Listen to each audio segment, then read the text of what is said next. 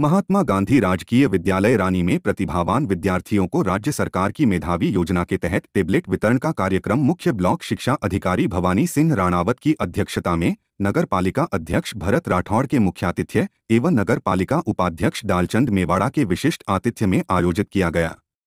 विद्यालय के vice principal Gajendra Kumar ने बताया कि राज्य सरकार की प्रतिभावान विद्यार्थियों को प्रोत्साहन योजना के तहत स्थानीय विद्यालय की सत्र 2021 से 22 एवं 22 व 23 की कक्षा 12 एथ 10 एथ एवं 8 एथ की कुल नौ बालिकाओं को टेबलेट वितरण किए गए। अवसर पर शहर भाजपा मंडल अध्यक्ष जयंतीलाल वैष्णव यूसीईओ कानाराम चौधरी एवं अतिथियों के कर कमलों द्वारा प्रतिभावान बालिकाओं को टेबलेट वितरित किए गए। इस अवसर पर विद्यालय कार्मिक अभिभावक एवं समस्त विद्यार्थी उपस्थित थे।